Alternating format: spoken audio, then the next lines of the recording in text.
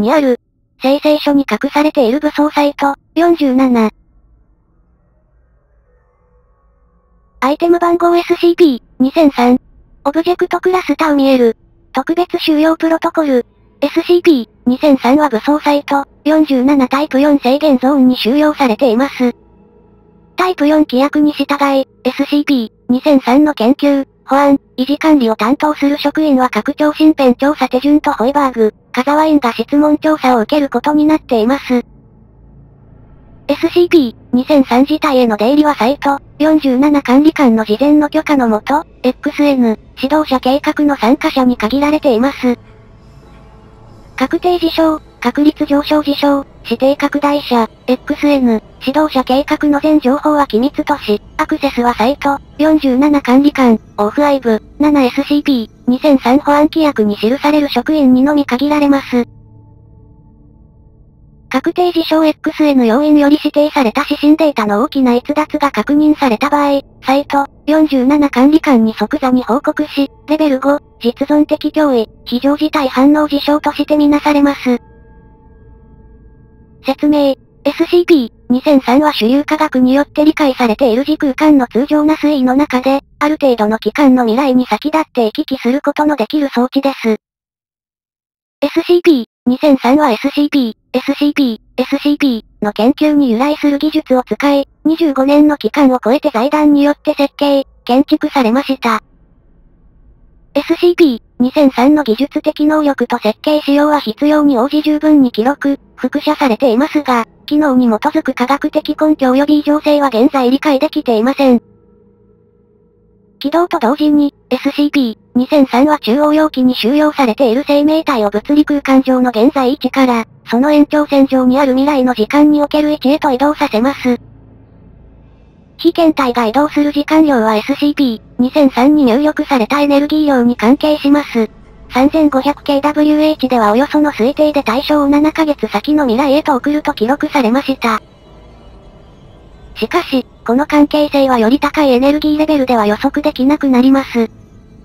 SCP-2003 を使用している被験体は元の時間と現在の位置の境界点に自発的に戻るまで、15から38周の範囲で変動する時間の中に存在します。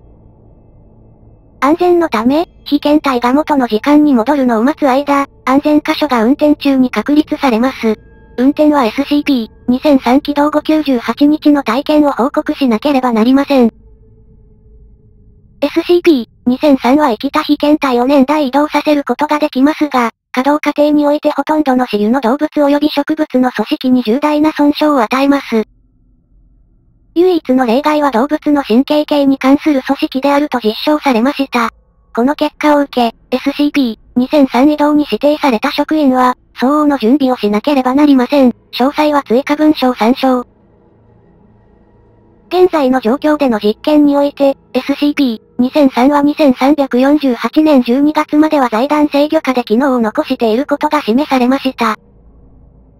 付録2003、ASCP-2003 研究の全体的な結果。SCP-2003 の最初の配備は1995年に始まり、職員が将来の状況と出来事を観察できるように修正されました。これら配備の目的は SCP-2003 を利用し帯同の性質の確認と、可能であれば財団がよりよく将来の異常現象のデータ収集を簡易にするためでした。この最初の調査任務の結果は将来観察される出来事を理解するためのいくつかの重大な素因を示しました。SCP-2003 を用いて得られたデータは不正確です。初期の調査任務では将来で起きたかのように見える出来事に関するおびただしい量のデータが得られました。しかし、その後の観察で、これらの観察は全てを予測するわけではないことが確認されました。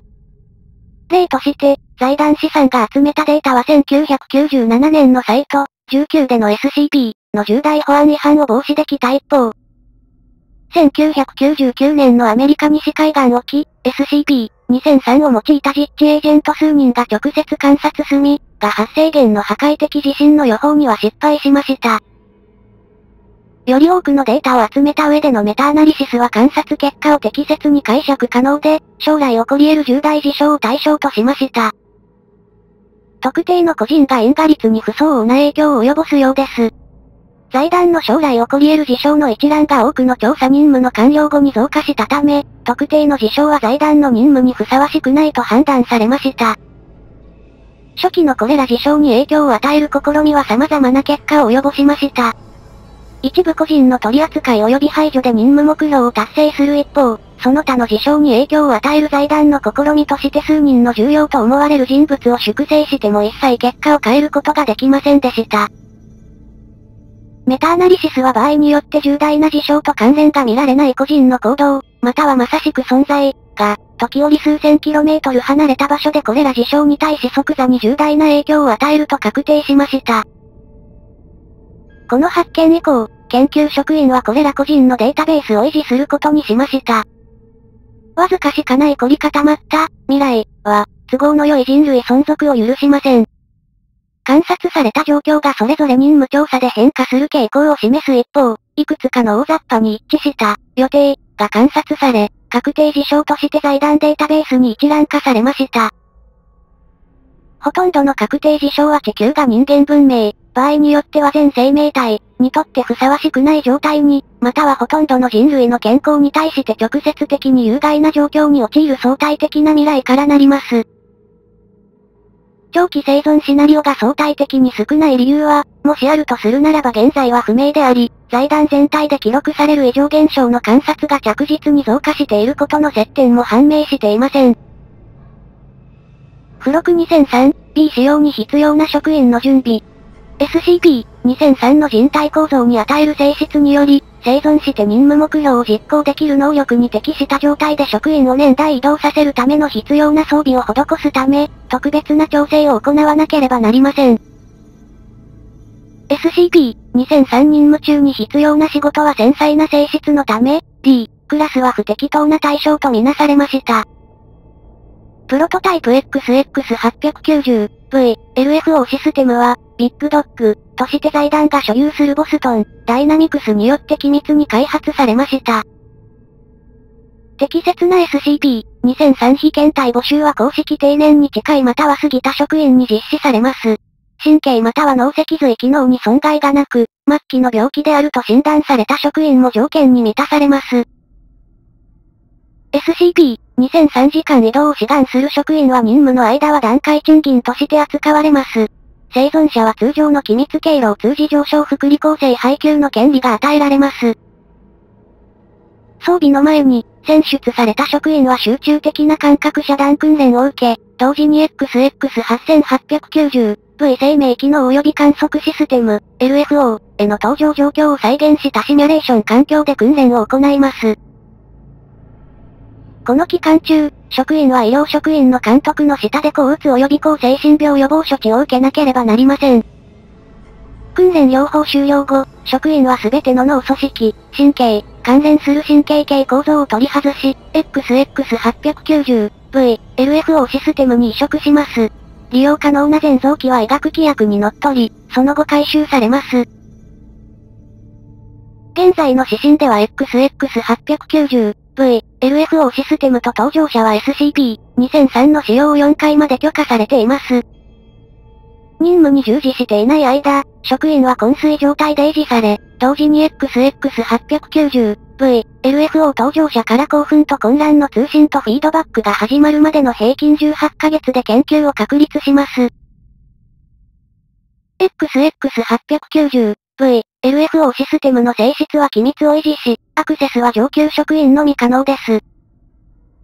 付録 2003-CXN、指導者計画の旨、用紙。覚書。宛先武装サイト、47管理官。差出人オフアイブ、7。返信確定事象 XN。この時点で、SCP-2003 を使用した未来への干渉の全試験は事実上機械と範囲を制限された。この接近においてある知恵を考えた。慎重な非常事態計画と危険、利点評価で知らされることになっている。しかし、報告の最後の18ヶ月には我々に十分果敢に主導権を握る見込みがある。ここに解決を見出せたかもしれない。そう価値がある。常に価値があるのだ。君もよく知っている通り。このメモを方針の公式変更だと考えてくれ。現在、全干渉試験は XN の発生と保護を目的としている。XN を担当とする指定拡大者はその他すべての優先事項の費用で不当な干渉から保護する。特にヌル、ディアニャはほとんどの観察結果で示された方法で死亡させて構わない。この点において少しでも変化があれば、我々で実行する。君は我々がこちら側に進行することになった残りの確定事象について十分に理解していると確信しているよ。もう一つ。すべての、そうすべてのサイト、47の外部との通信は公開し、私のオフィスを経由するように。付録 2003D 基地の確定事象一覧。望ましい選択、故障、概要、メモ、XN、現在支持される現実です。社会は確立された財団予測に沿って経済トレンド、環境要因、社会情勢を変化させます。異常現象はほとんど現在と同じ比率で現れ続けます。8334号ムーア、直径 22km の事前に探知されていなかった小惑星が2349年1月に地球と衝突し、大部分の人類を即座に死滅させ、人類の生存に適さない惑星に変えるまで、合意を得た現実は正常に維持されます。付録 2003C を参照してください。その他の確定事象、故障、概要、メモ、XB、社会の発展は2017年4月23日に HD1887、53付近から飛来したガンマ線バーストが直接地球に降り注ぐまで XN と類似して続きます。バーストは2分38秒間続き、基地の全生命を死滅させます。ガンマ線バースト時にこのシナリオを直接観察した研究員はこの事象での唯一の基地の生命の生存者であり、52日後に彼が帰還するまでデータが集められました。後方車線環境での XX890V、LFO システム使用に関わる研究は保有されています。XE、2049年にウィリアム、エントイッセル教がニュージーランド首相に当選し、同じ日にトルクメニスタン国アハル州で名もない幼い男児が誕生したことは事象の連鎖反応を引き起こし、2058年のイスラエルとインドネシア間の核戦争による社会破壊事件まで発展します。両個人に干渉する財団の全ての試みは核戦争発生の日付を早める結果に終わりました。この事象の全順列において、財団にまつわる公への認識の拡散が核兵器の起爆までのちょうど86日前に発生します。XH、全世界で約14億人を死亡させることになる高毒性インフルエンザの流行が始まったため、2023から2034年の間に各国政府は国際協調の度合いを抜本的に高めました。2040年代から2050年代を通じ、長年の民族紛争は多国間組織の介入により解決し、アフリカ大陸サハライナンとインドア大陸の特定地方の貧困と上はかなり減少。大規模な海面上昇軽減計画は沿岸地方で完遂します。2059年7月29日、地球上の全人口は基地のあらゆる動物と共に自然と消え去り、観察期間中には復帰が確認されませんでした。N、A、XJ、2011年4月1日、SCP、収容以前からその攻めを打っていた研究員の一人である雅子、小泉博士の正確な複製体であると後に確認される実態が武装サイト、47の保安境界線内に現れます。実態は施設内のどこかにいる小泉博士の予定された安楽死を即座に中止してほしいと要請します。収容確立時に SCP は機能しておらず、実態がこの要請をできた方法は不明であり、将来において生じると推定されます。しかし、K、安全対策規約12条の締結により、この要請は財団職員では応じることができず、アルファ、8型時間パラドックスにつながります。この一連の事象は無数の実態により繰り返され、最終的に人類が理解する時空間の崩壊を引き起こします。このシナリオは職員が小泉博士の複製体を鎮静し、XX890V、LFO プラットフォームへと乗せ、SCP-2003 の利用可能な全エネルギーを使って輸送することで最終的に回避されました。この行動による時間的混乱は不明ですが、2349年までは健在しません。XO、異常現象の頻度が2037年から極端に増加し始めます。財団は2039年までに合意を得た世界を保護する力を完全に失い、世界文明は混沌と大変動の時代を迎えます。数百万人が自然発生の暴動で死亡し、集団自殺が世界中で当たり前のものとなります。多数の救世主的宗教の動向が加速し、大規模な内紛と戦争につながります。2040年代中頃、いくつかの宗派と中央政府の生き残りが多様な異常現象を兵器化に成功し、2048年にはサイト、104に避難した少数の集団を除き人類は絶滅します。この集団との全ての接触はサイト、104の軽胸部発見時には失われています。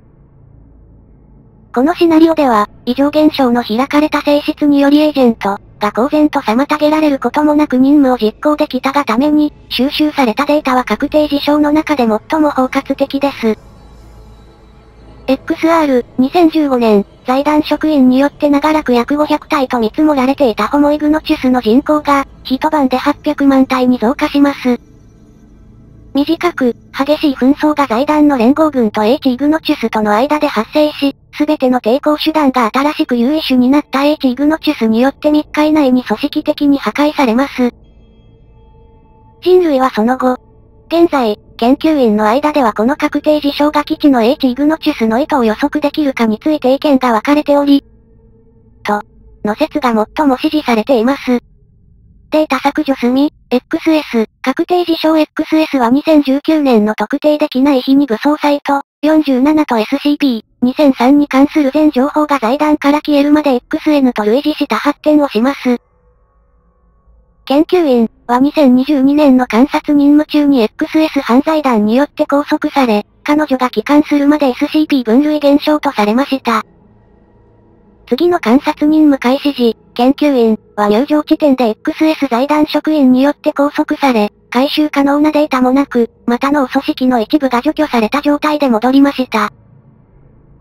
確定事象 XS に関するさらなる詳細情報は利用できません。レベル4セキュリティアクセスのみ。XU、2026年2月17日、あらゆる天文学上のモデルと古典力学及び量子力学の理解に反し、重力崩壊を引き起こすための一般に理解されている質量域値に達することなく太陽は突然ブラックホールと化します。太陽系の地球とその他惑星はほとんど直ちに接し約、270度にまで冷却し、その他の全生命が死滅したにもかかわらず、人類は死ぬことができず、継続した生物学的機能とほとんどの分子運動が完全に停止したにもかかわらず、意識を維持します。この確定事象は前確定事象 XT の一部でした。XT は一つの全体主義体制が反惑星的な統制を想定して、様々な、破壊分子、組織の排除を目指す未来であり、その攻撃は特に財団職員に集中しました。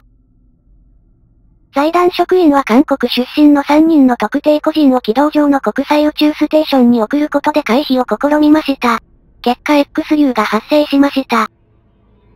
XW、2019年8月13日、強化され人型になり生命を持った SCP が最も人口の多い中心地に現れました。恐れを呼ぶよりもむしろ、医療、科学、エネルギー生産、工作技術、芸術について重大な先進技術を提供した後、これらの存在は急速に人類に受け入れられます。2022年末までに、数千人の人々が複数の人間の意識を単一の存在に結合させる実験計画に積極的に加わります。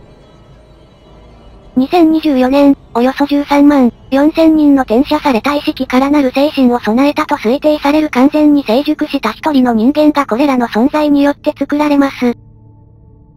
それから、この人間は独房に閉じ込められ、自動的に食料と水が供給されることを除いて全ての外部からの接触を断たれます。その他全ての人間は2024年うちに組織的に抹殺されます。確定事象 XW を観察するために送られた最後の二人の人員、エージェント、と、研究員、は元の時間に戻ることに失敗し、現在 MIA として記録されています。XX、観察された時系列では未確認、未発見の原生生物、財団研究員によりネフロイソスポラーラニーエとして指定、が、ほとんどの水環境で適合し生存できるように最近進化したため、気化級数な個体数増加を発生させました。N アラニーエは人間の神経組織に移動、生存すると、人間にフォヌートリアニグリブンター、フォニュートリア、毒死母雲に対する変質的愛着心を持たせるトキソプラズマ症に似た混乱をもたらし始めます。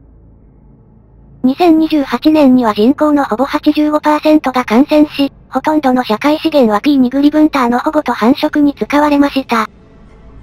非感染の個人は拘束され、そのほとんどハ種の追加の食料源として P ニグリブンター飼育施設に埋められました。他に類のない世界規模の雲の個体数の繁殖と保護により、収穫不作と基盤荒廃が全体的に拡大し、2030年代には世界的な基金により約60億人が死亡します。広範囲に N アラニーエが増加したことまた病原体としての機能の性質を持つことになった異常原因を研究中です。XB、地球は完全に無人になりました。かつて主要な都市だった全ての場所の中心に、水蛇座町銀河団近辺のどこかである都市語分析により判明した場所へ通じる、瞬間的に天文学的な距離を移動可能な巨大施設が建設されていました。皇族の観察者たちはこれらの施設への侵入を認められ、機能している人間文明が存在する、地球に類似した生物群系のある惑星へと転送されたようです。転送された観察者はその都度、この惑星の住民に直ちに発見されました。住民は観察者とのコミュニケーションを控える一方、各観察者はその後に、公共事業による巨大な施設群、モニュメント、博物館やその他文化的に重要な場を含む。この惑星上で遭遇した社会におけるえりすぐられた場所を案内されました。水蛇座町銀河団で遭遇した人間文明は明らかに現代よりも進歩しており、現行社会へ悪影響を及ぼしている最も確認されやすい要素の大部分を書いています。この文明はこれまでのところ観察の範囲を超えて存続しており、人類の生存が続いていることを示しています。XN、指導者のもと、さらなる調査が認可されました。望ましい選択についての再評価が保有中です。